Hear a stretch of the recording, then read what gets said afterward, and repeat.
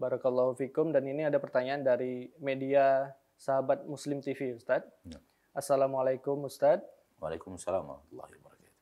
Mohon penjelasannya terhadap pembagian keadaan taat kepada pemimpin Ustadz. Barakallahu fikum. Uh, Nabi Shallallahu Alaihi Wasallam melarang kita taat dalam hal yang sifatnya maksiat hal yang sifatnya maksiat. Nabi SAW mengatakan la ta'ata li makhluqin fi maksiati khaliq, fi maksiatil khaliq. Tidak ada kebolehan taat kepada makhluk.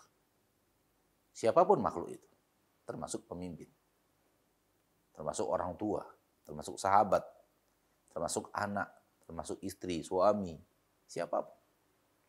La ta'ata li makhluqin fi maksiatil khaliq.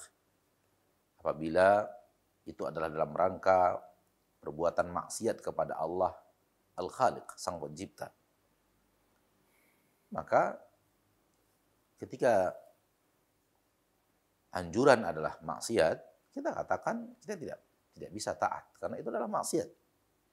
Berarti selain maksiat adalah kewajiban untuk taat. Oleh karena itu kita harus berilmu tentang agama Allah Subhanahu wa taala membedakan apakah hal ini perbuatan maksiat atau tidak. Ya.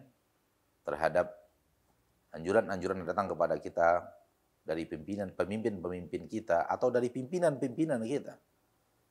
Ya. Ketika dia sudah masuk ke dalam ranah maksiat, ketika itu tidak boleh patuh dan taat. Namun selagi tidak maksiat kepada pemimpin wajib patuh dan taat.